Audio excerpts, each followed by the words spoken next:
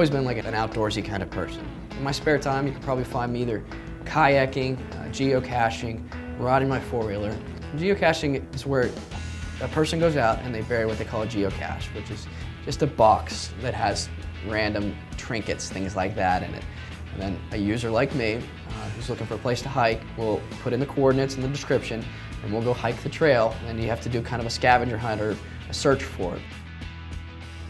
What drew me to be an EMT was the type of work that you'd be doing. Uh, I had a, a, need for excitement after going, you know, being in combat for a year, and uh, nothing would excite me like that except for working for EMS. It just kind of got the blood flowing, and it fits well into college. I could work one 24-hour shift a week and have the rest of the week free to do homework and things like that.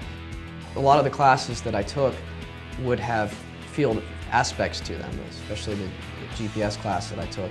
A lot of it was spent outside collecting actual data. For me, being able to earn a living doing what I love, being outdoors, being able to produce maps and use the technology and things like that excites me. And that's something I would look forward to doing, going to work every day, which a lot of people can't say they'd like to do.